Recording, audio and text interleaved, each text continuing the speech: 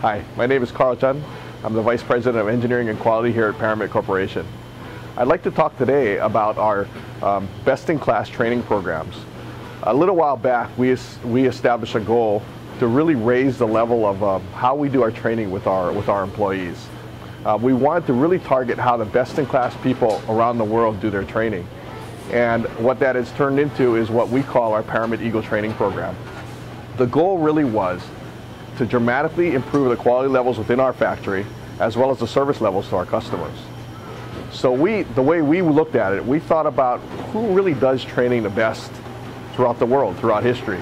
And let's try to model a program after that. We started out looking at apprenticeship programs going years back. If you wanted to be a blacksmith in England, you started out at the age of 12 working with a blacksmith. By 17, you were accomplished. So that concept really had us um, uh, thinking about how do we get those uh, experts, those senior blacksmiths into the company, and then how do we do we how do we go in and do a one-on-one training with each of our people in the similar sort of vein? The next thing we looked at is how do you know they really are best in class? And to that we turn towards our customer base, which is the medical equipment uh, companies as well as the military. How do they train their people? Their folks work in life and death situations. And the critical element of theirs, they incorporate a lot of philosophies of the, the, apprenticeship program, but the critical element of theirs is they have experts certify every single person. So what we did is we put all of that together and, and created a Paramit Eagle program. So how does that work here at Paramit? Behind me is our surface mount area. We started off first in this area. We wanted to keep it small and focused. Um, we decided to make the time commitment towards this apprenticeship program. We dedicated 50% of the subject matter experts' time towards this training. What he did was he spent, he created a training program that was broad and very, very comprehensive. In other words, this machine here is a solder paste print machine.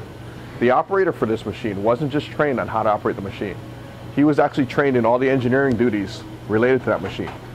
Maintenance, how to set it up, how to program it, how to qualify it, as well as operator training. Beyond that, the uh, subject matter expert spent a lot of time with repetitive activities.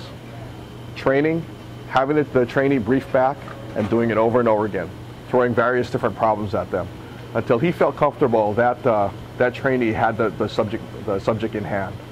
The next step was then our Eagle certification panel. We developed the objective criteria um, to certify uh, an employee. And that employee had to stand in front of a panel of experts and go through a rigorous set of questions to demonstrate that they really had the material in hand. It is a very time-consuming process, but in order for it to really take hold, to, to, to, to have the training programs really take hold, we felt we had to make the commitment to do this. Uh, it has paid off uh, well beyond our what we had originally planned. The current quality levels in this area are, are at world-class levels. Process defects in the SMT area are sub 10 DPMO, defects per million opportunity. We're running on average every month somewhere in the 6 to 7 DPMO range. A large contribution to that was the efforts made in the training program. That's all I have to say today. If you have any questions at all, please feel free to contact me. Uh, thanks for your time.